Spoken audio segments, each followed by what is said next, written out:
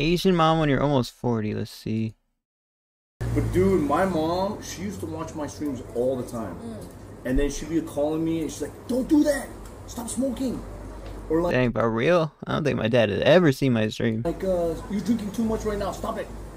you know, why are you doing hookah right now? Really? Or like, don't hang out with this person. And I'm like, oh my, you gotta chill, you gotta chill out. Maybe when I get more viewers, my parents will watch my stream. Jinny doesn't know about days off. Dude, I told the story to my chat a long time ago, but my mom, a long time ago, she'd be like, why don't you s- stream like Jinny?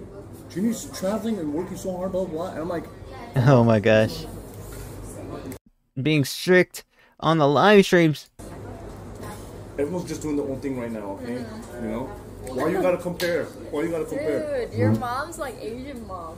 Dude, my mom. I'm sure my dad thinks that internally. Like, you're not that big of a streamer. was Oh, like, all- oh.